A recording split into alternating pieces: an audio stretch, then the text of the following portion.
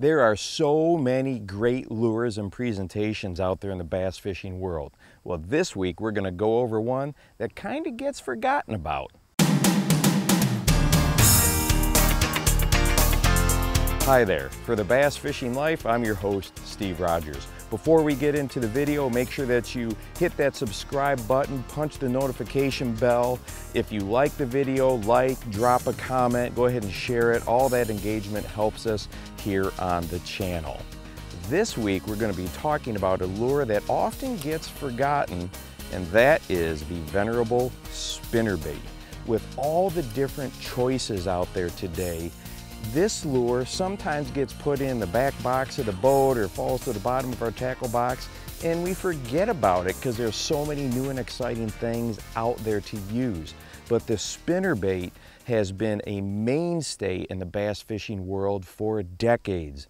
Why? Because it works. So we're gonna go ahead and go over some of the basics today and we've got an overcast day, we've got a little bit of wind and we're gonna see if we can pull up a few on this old bladed wonder. The particular model that I'm going to use today is actually a combination between a willow leaf and a Colorado blade and because it's overcast I'm going with the gold blade and I also have a trailer or a stinger hook on here. And if you notice, I have this hook so it moves freely. In other words, I slip the stinger hook over the shank of the main bait first, and then I put the little rubber keeper on or the surgical tubing. Uh, sometimes I see people where they put that um, surgical tubing over the eye of the stinger and it holds out straight, you'll have a better hookup ratio and also get hung up less if you keep it where that stinger hook can go ahead and flow freely and move around on the back of the bait. Well, today we're going to be following the wind. Whenever we get into the fall of the year, a spinner bait is a good choice because like we've talked about in earlier videos, it mimics bait fish and that is what bass are starting to key in on. And the other thing that we've talked about in previous videos is that as we get into that fall transition, it can be tough to locate those fish sometimes. They will start to follow this bait fish.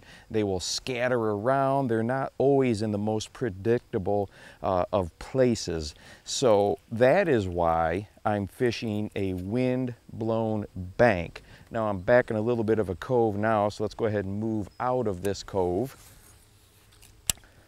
A wind-blown bank puts the fish into a more predictable position. It gets that whole food chain relocated. So the wind will push uh, the, the minnows or the small bait fish, shad, and uh, microplanktons, that type of stuff, will push them up onto the wind-blown bank, and then the smaller fish will go ahead and get up there and start to feed, and of course, when the small fish start to feed, then the big fish will get up there as well. So a wind-blown bank with a spinner bait is a one-two combination that oftentimes yields to success. Um, now, we've all been in situations where that wind is just horrid and you know, we want to find a, a calm cove or a place that's, you know, not getting beat up with the wind so particularly bad. But if you can go ahead and fish those wind-blown banks even on the worst days, if, you, if your boat's got the trolling motor to handle it, or if you're bank fishing and you can go ahead and position yourself on the bank that the wind is really hammering, your odds of success are going to go way, way up, definitely. Um, now, as you can probably see here, we don't have a ton of wind, but we do have some wind. Uh, if I got to the other side of the shoreline, it's completely uh, slack water, and that's not the best spinnerbait situation to get in. We want to make sure that we've got some sort of chop on the water, some sort of ripple, and you'll just have much, much, much more success. Um, I have also found that I have better success with a spinnerbait when it's a little bit more overcast or cloudy like it is today. I mean, you can still catch them on those bright and sunny days by throwing these spinner baits up into, you know, tight cover or working them through some uh, weed beds and things like that, especially smallmouth. They will uh, go crazy on a spinner bait on those sunny days if you burn them. But I personally have more success on cloudy days with a spinner bait. Now as far as my equipment setup, I like to use a little bit shorter rod. Uh, many manufacturers, and uh, this Lew's one has a six foot 10 spinnerbait rod. And the reason I like a little bit shorter rod is because I'm going to be oftentimes uh, fishing it uh, up close to cover, but also if you've noticed my cast, and this is the main reason, is with a spinnerbait, I'm pretty much always roll casting that thing underhand. And with a little bit shorter rod, your rod tip is less likely to hit the surface of the water there. So a six foot 10, um, I'm using a Mach Crush here, which is a little bit higher speed ratio, gear ratio. Uh, but if I was to pick my ideal ratio for a spinner bait, it would probably be that 6'2", 6'3". I like to fish it a little bit slower. Now, one of the things um, that you will hear anglers talk about with the spinner bait when they come through, especially vegetation. I'm working some um, small pockets of vegetation here. Some anglers will talk about ripping that spinner bait through that vegetation and others will talk about just putting pressure down with the reel and kind of pulling or cranking that spinner bait through that vegetation. I've had success both ways. Um, I have found that by cranking down on the reel when I'm stuck in vegetation, that bait will jump or hop through those weeds. And I have a little bit more success keeping that bait clean than if I try to rip it through. Sometimes the bait will turn sideways and then I'll get some weeds and stuff hung up on there. But you'll just have to figure out for yourself which particular retrieve that you like better. Now, for those of you that are new to spinner baits, we have so many people in our uh, Facebook group that consider themselves novice, beginning, or even intermediate level anglers. And you probably are wondering about the blade situation I mentioned earlier. The long, skinny blades are considered willow leaves. This short, uh, teardropped one, it's uh, not quite round, just slightly teardropped, is a Colorado blade.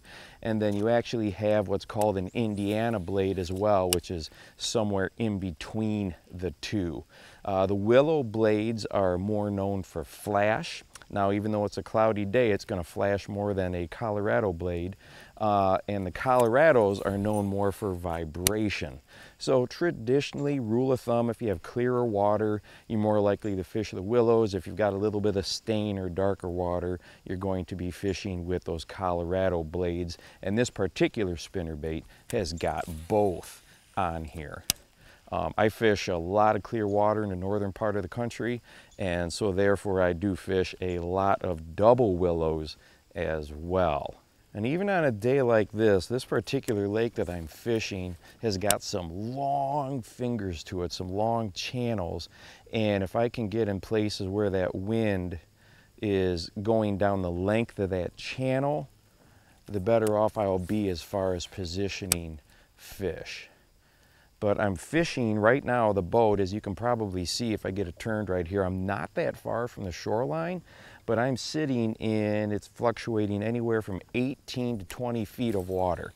And that's what I'm looking for. I'm looking for those bass so they're hanging out in those shallows, but have access to deeper water quickly. I'm a big, big fan of accessing that deep water quickly. So that's why I'm targeting this particular shoreline. And as you can see, I'm just giving slow casts the bait I'm using is actually a 3 8 ounce. If I don't get anything here up on the surface, I could always put on a half and try to go a little bit deeper. Um, another technique that you will hear about often is slow rolling a spinner bait.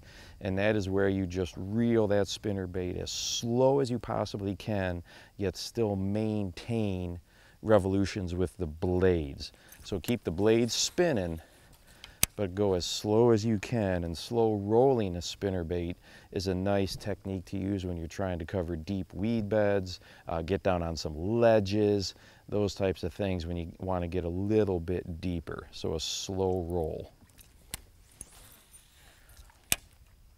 And like any lure out there, um, you know, the manufacturers have got a bazillion different colors. And once again, you know, go with, you know, clear water, your more natural colors. Um, and with darker water, more solid colors, your black, blues, those types of things.